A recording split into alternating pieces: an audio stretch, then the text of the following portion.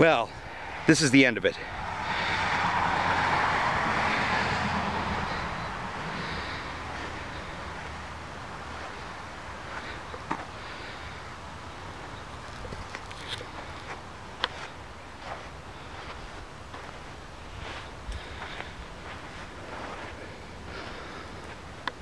Lots of trees planted, large amount of rock laid, a great deal of area clear, ponds built.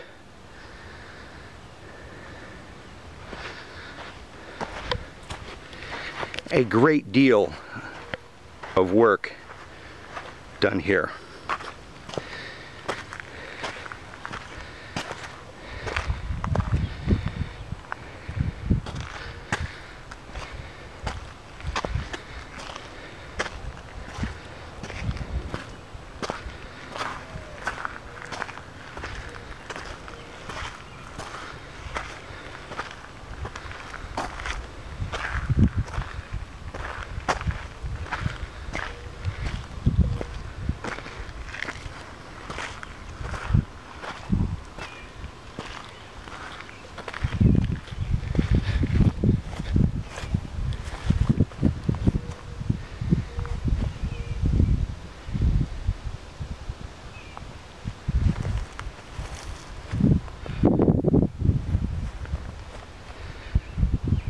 Isn't that a nice shot?